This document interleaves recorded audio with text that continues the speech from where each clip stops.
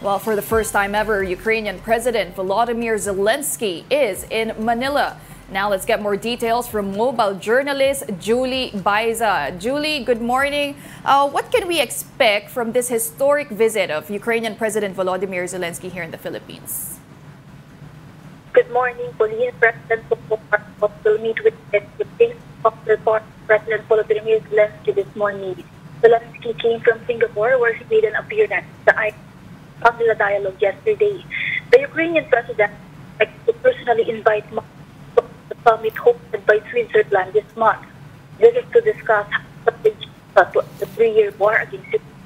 Recall that in a telephone conversation with Marcos and Zelensky have talked about the war in the Eastern European nation. Zelensky thanking for support, supporting the sovereignty and security of his country.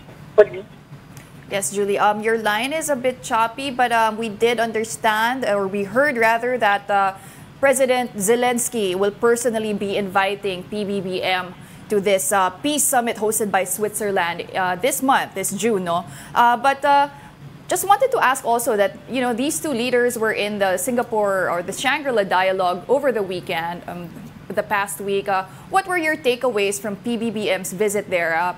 He did make that keynote speech. He met a lot of uh, world leaders. Uh, but what were the highlights, uh, Julie? Yes, Pauline, in front of other world leaders and stakeholders in Singapore, the president is firm in defending the West of Philippine Sea. He reiterates that he will not yield and will protect the country's territory to the last square inch. That was also the first time that PBBM has called on China and United States to manage their rivalry in a responsible manner. He acknowledged the importance of these two countries in maintaining the peace and economic evolution in the Indo-Pacific region. All right. Thank you very much for that update, mobile journalist Julie Baiza.